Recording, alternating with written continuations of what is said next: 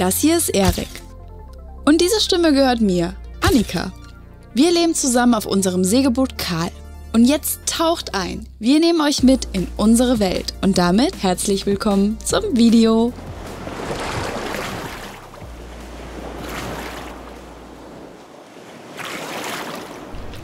Es ist vorbereitet.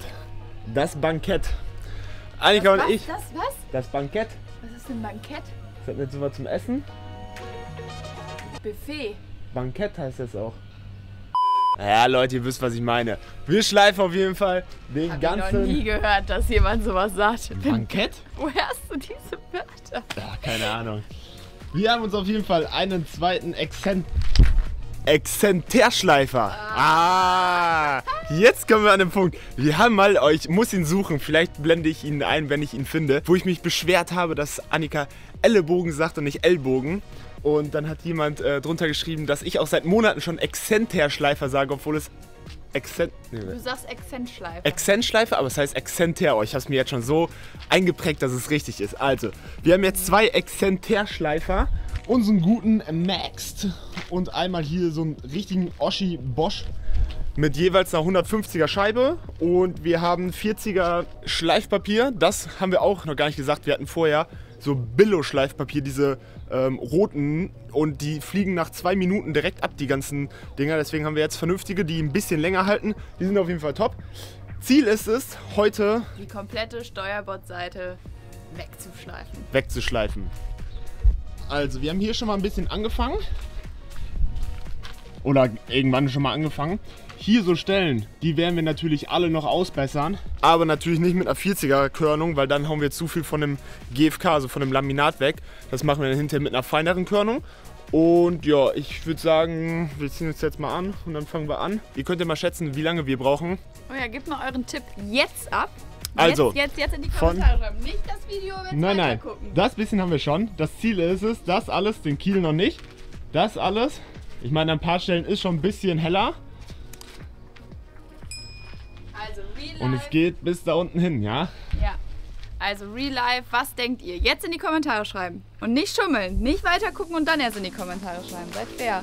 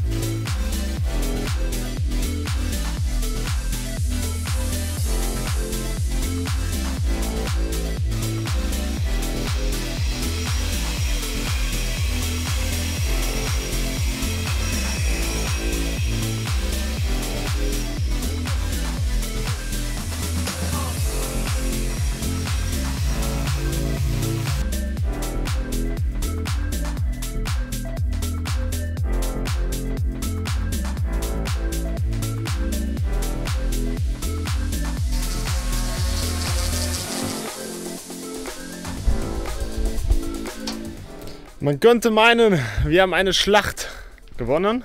Ich höre noch nichts. Du hörst noch nichts. Oh, ich sehe gerade, ich bin etwas blau. Vielleicht ich auch. Vielleicht du auch. Leute, wir haben es fast geschafft. Also es sind noch ein paar Flecken. Aber, Aber meine 90er Playlist hat 5 Stunden 41 und die habe ich heute gehört. Genau, also wir haben knapp sechs Stunden jetzt dafür gebraucht. Also von vorne einmal bis hinten. Kiel haben wir jetzt noch nicht.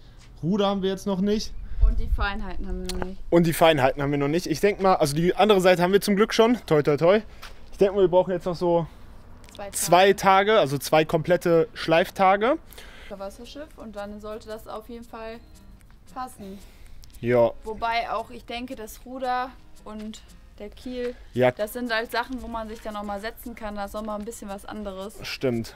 Aber, Aber- es war auf jeden Fall geil und ich muss sagen, es hat eigentlich Sinn gemacht, weil wenn der andere schleift und der andere nicht schleift, hört der andere auch immer diese Schleifgeräusche und so haben wir jetzt halt einfach beide richtig geballert. Ja, also Noise Cancelling äh, Kopfhörer ist auf jeden Fall das Must-Have. Und ich kann nur noch mal sagen, unser Schleifer, den wir uns Ey, bestellt haben, also, nur wenn kurz. ihr was vorhabt, Ja. Schleifen, dann kauft Wenn, euch wenn ihr uns Teil. unterstützen wollt oder wenn ihr an sich auch einen Exzent-der-Schleifer kaufen wollt, kauft ihn. Maxed. Ich bin's, mach Werbung für exzentäre Schleifer und Ja, das ist- immer ist- falsch ausgesprochen. Ist natürlich Okay. in der Videobeschreibung. Ansonsten, keine bezahlte Werbung für den also Exzenter Schleifer, wie gesagt, ist von Amazon, aber mh, es Baba ist Ding. einfach ein geiles Teil. leicht und hat Power. ja, Hat zu viel Power, die habe ich ja vorhin schon gesagt. Die Scheiben fliegen ein bisschen weg. Ja, wir haben jetzt auf jeden Fall fast 40, nee, 30 Scheiben haben wir weggeballert für den Rumpf bis jetzt. 40er Körnung. Also nur mal so ein Anhaltspunkt, falls einer auch mal ein Boot schleifen möchte. Mit einer Und- Ziehklinge, ich weiß gar nicht, ob ich das mal gesagt habe oder nicht gesagt habe. Also manche Leute haben ja auch so eine Abziehklinge. Äh, Wäre bei uns, glaube ich, jetzt nicht so sinnvoll gewesen, weil die Schicht ist an sich nicht dick. Also, das, also aber es ist halt feste, das Zeug. Aber mit der Ziehklinge, glaube ich, wenn du mehrere Schichten Anti-Folding hast, kriegst du das gut ab. Aber jetzt hier hätte ich, glaube ich, viel zu viel Schiss, dass ich das Laminat beschädige. ich glaube, die nächsten Tage gibt es auf jeden Fall mal eine Runde Yoga, Oh ja. damit unser Rücken sich wieder entspannt. Ja, aber zum Glück haben wir noch genug andere Projekte, dass wir jetzt vielleicht ein, zwei Tage was anderes machen können. Vielleicht ein Video schneiden oder sowas. Damit wir dann wieder Power haben. Weil ich Yes. kriege immer Muskelkater am übernächsten Tag. Also morgen könnte ich auch noch schleifen. Aber danach ist dann Endstufe. Leute, wir packen weg und dann sehen wir uns morgen. Ich würde sagen, adios. Und Tschüss ist das richtige Stichwort. Die ersten Segelfreunde verlassen langsam den Hafen. Wir knipsen also noch mal ein paar Bilder, denn man weiß ja nie, wann sich die Wege noch mal kreuzen. Das gehört zum Segelleben dazu. Doch ein Abschied heißt auch ein Neuanfang. Und das erinnert uns daran, dass auch wir bald wieder diesen Hafen verlassen werden.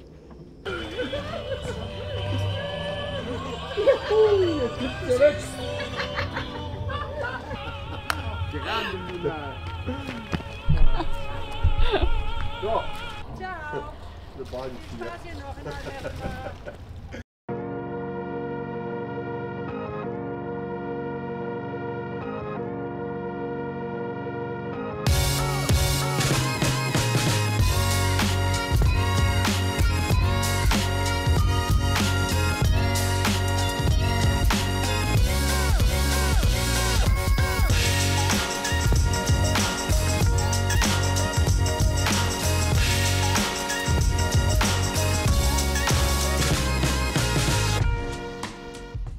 Willkommen von der Baustelle. Ich hoffe, ich hoffe wirklich sehr, der Ton passt. Mir ist das in den letzten Videos selbst aufgefallen, dass es hier extrem laut ist. Also vor mir schleifen gerade zwei, hinter mir ist einer am Sandstrahlen sein Boot und ein anderes Boot wird auch noch auseinandergenommen. Ich hoffe, die Tonqualität passt und ihr versteht, was ich hier eigentlich erzähle. Ich zeige euch mal, was wir heute vorhaben oder was ich heute vorhabe. Und zwar sieht unser Ankerkasten bzw der Rand hier überall etwas mitgenommen aus. Und vielleicht könnt ihr euch jetzt denken oder auch nicht, wir werden das komplette Deck streichen. Das heißt, wir müssen natürlich diese ganzen Unebenheiten erstmal beseitigen und das machen wir natürlich mit Epoxidharz. Ja. Oh, und ich bin so froh, endlich mal hier oben in einer sitzenden Haltung irgendwas anderes zu arbeiten, außer den ganzen Tag zu schleifen, weil meine Arme sind einfach wie Pudding. Ich mische jetzt wieder Epoxidharz an, spachtel das alles, dann muss das natürlich wieder trocknen und dann muss natürlich auch hier oben geschliffen werden, denn es soll ja auch alles schnieke sein hinterher. Und es wäre ja schön, wenn das die einzigen Stellen wären, die betroffen sind, aber nein, es zieht sich eigentlich über das komplette Boot. Annika hat hier schon mal ein bisschen was markiert, also es sind überall Abplatzer. Hier ist ein recht großer Abplatzer tatsächlich. Annika und ich sind ja mittlerweile Epoxidharz-Spezialisten, würde ich mal hier behaupten. Also wir haben ja echt viel jetzt mit Epoxidharz gemacht, die komplette Sprayhood gebaut und ich kann es auf jeden Fall jedem empfehlen, der ein GFK-Boot hat oder auch ein Stahlboot wahrscheinlich. Also es gibt auch Epoxidharz in kleinen Gebinden hier. Also man braucht nicht immer direkt einen 15 Kilo Pot. Und das Epoxidharz, was wir jetzt genommen haben, das kostet 10 Euro pro Kilo. Und zum Beispiel jetzt das hier sind 100 Gramm Epoxid und dann 50 Gramm Harz. Und das wird jetzt wahrscheinlich komplett vorne für den Bereich reichen mit der Spachtelmasse. Gibt ja jetzt auch schon so fertige Gelkut, Spachtelmasse hier und da, aber mit dem selber zusammenmischen, das funktioniert einwandfrei. Man muss halt einfach das Ganze abwiegen und gut ist. Für die Verdickung nehmen wir halt so Baumwollflocken. Das hat sich auch als sehr gut entpuppt. Gut, wir haben jetzt äh, nichts anderes ausprobiert. Es gibt noch so Microballs und äh, noch irgendwas anderes, aber das Schöne bei den Baumwollflocken ist, man kann halt auch die Konsistenz selber bestimmen. Das heißt, an manchen Stellen, wo gerade vielleicht kopfüber oder wo es sehr viel läuft, dann macht man es halt einfach ein bisschen dickflüssiger. Und ja, an manchen Stellen, wo es kann, wo es ein bisschen verlaufen darf oder kann oder soll sogar, weil es sich dann halt in alle Ritzen reinsaugt, dann kann man es halt ein bisschen flüssiger machen. Das ist auf jeden Fall echt gut. So, und das ist jetzt meine Lieblingskonsistenz. So ein bisschen dickflüssiger wie Mayonnaise. Also wenn man es hält, ja okay, es ist ein bisschen zu dickflüssig. Ja, die Konsistenz ist jetzt eigentlich ganz gut zum Verstreichen. Dann klebt es auch wenigstens oder hält es ganz gut, äh, ohne dass es zerläuft, weil das möchte ich jetzt in dem Beispiel nicht. Und ein kleiner Tipp, für mich ja immer so komisch, wenn ich Tipps gebe, weil vor zwei Monaten noch nie Epoxidhase in meinem Leben gehört oder so und jetzt auf einmal hier die Tipps raushauen. Aber verwendet, also da habt ihr jetzt irgendwie eine halbe Stunde Zeit, das Zeug zu verwenden. Und wenn ihr das verwendet, so viel wie nötig, so wenig wie möglich. Ja, es war richtig rum gesagt. Weil Epoxidharz wegschleifen ist echt Pain. Bei der Sprayhood, wir haben lange geschliffen. Das dauert echt. Aber, och, jetzt hau ich noch einen Tipp raus. Ich hau hier die Tipps raus. Eine Sekunde. Wenn ihr ein Multitool habt, also das ist jetzt von Bosch, aber ist ja, jede Marke ist ja eigentlich immer baugleich, die Aufsätze sind ja auch immer fast gleich, kauft euch auf jeden Fall so ein, ich weiß nicht, das ist normalerweise äh, Gold, das ist so eine, ja, ist auf jeden Fall irgendwie so ein Abschleifding, aber halt keine Schleifscheibe, sondern das ist halt feste und damit habe ich die komplette Sprayhood schon behandelt. Man muss aufpassen, weil das macht richtig das ballert richtig, also da darf man nicht zu tief, dann ist man direkt wieder durch. Aber für grob was wegzumachen, ist das echt Gold wert, weil da spart man sich echt sehr, sehr viele Schleifscheiben. So, jetzt habe ich schon wieder viel zu lange gelabert hier. Ich fange mal an, ein bisschen zu spachteln.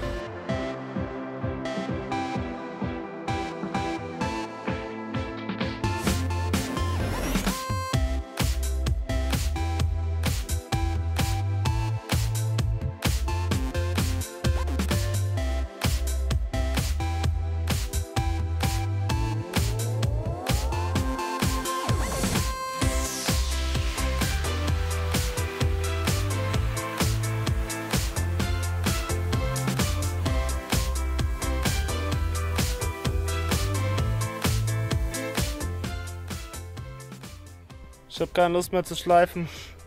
Ich auch nicht mehr. Wir müssen mal langsam irgendwas streichen, nicht schleifen. Aber das sieht noch nicht danach aus. Vielleicht noch ein, zwei Tage, aber ich muss mal ein Erfolgserlebnis. Also, Erfolgserlebnis hat man hier jeden Tag. Ja, Aber- wenn man jetzt das Boot abspritzt, wird man zum Beispiel auch sehen, wie krass das schon auch aussieht. Oh, nee, ich kann gerade nicht reden. Können wir das bitte gleich machen? Nee. Wir gehen jetzt auf jeden Fall ins Meer, haben wir uns so Ich kann, entschlossen. ja, ich kann nicht mehr reden. Kein Vielleicht Bock zu nach dem. Wasser. Ich bin auch so. Wir haben Sonnenbrand des Todes. Die Sonne hat heute so ge. Alter, die hat heute alles gegeben. Genauso wie wir. Wie immer.